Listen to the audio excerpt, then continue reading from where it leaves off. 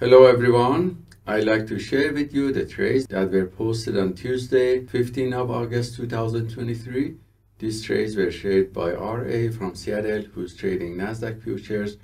If we look at the macro charts, we see that the price reached the area of static support and it got rejected at the level of the previous day low and started to go up. So this uptrend channel was identified and using 15 second trading chart we found the area that pullback was completed and entered multiple long positions and managed and exit them with profit.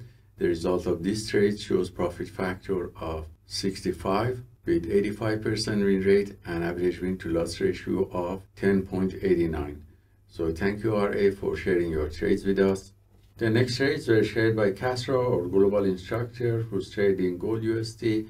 If we look at the one minute trading chart, we see that the price reached an area of static support and one time it got rejected and bounced back. We can see the lowest points that buyers came back and for the second time was tested. He identified this area as an opportunity to enter with setup B and two positions. So one is already reached target and the second one also was closed with very good risk to reward ratio. So thank you Castor for sharing your trades with us. The next few trades were shared by Jan, our global instructor, who's trading Nasdaq futures. If we look at the macro charts, we see that it's in downtrend and it's gaining momentum.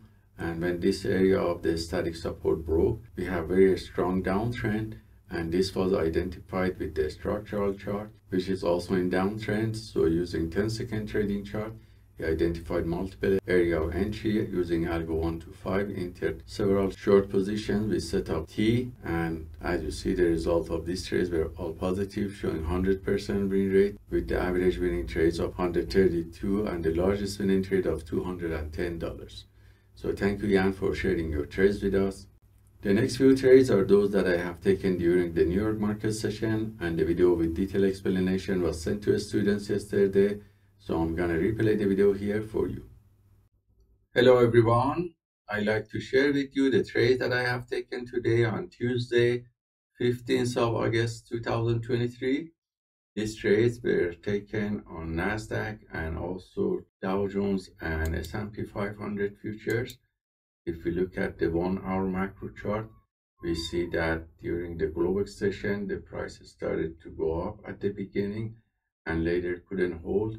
And during the London session, it started to go down rapidly and continued to test the previous day close and high and went down on most e-minis during the uh, New York session below the previous day low. And if we look at the five minute chart, we see at the beginning uh, when the market opened it started to just go up quickly and didn't hold this price and got rejected.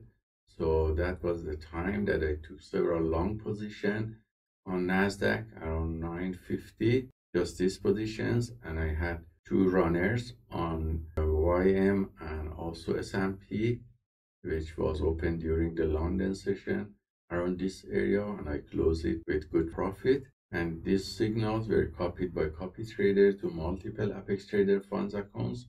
And we see that the result was positive showing that we had a profit factor about 5 with 71% win rate from long positions taken with the average win to loss ratio of 1.97 and the largest winning trades from these runners were about 1325 and the largest losing trade was $359 so hope this trace taken by the PAAT system is useful for you and let us know if you have any questions. Have a wonderful day.